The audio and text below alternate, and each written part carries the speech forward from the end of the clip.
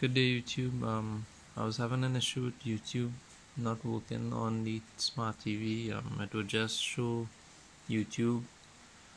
Um, it would stay there for minutes and nothing would happen. So after a bit of searching, I found how to solve this. So what you need to do is actually go into the browser here. Just wait for it to load, right? And you press on options go to browser settings. Hopefully you could see there select browser settings and delete all cookies. Right? I'll do it before. Just do it again for clarification.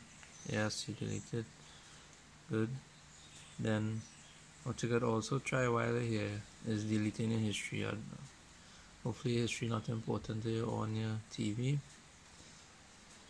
so you clear that and then press home to come back to the main menu now you come back and you launch YouTube.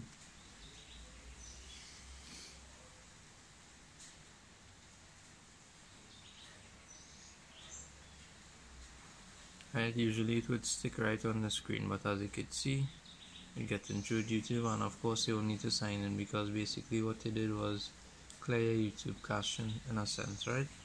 So now YouTube is working um Solutions for this may vary uh, depending on the TVs because different models have different solutions.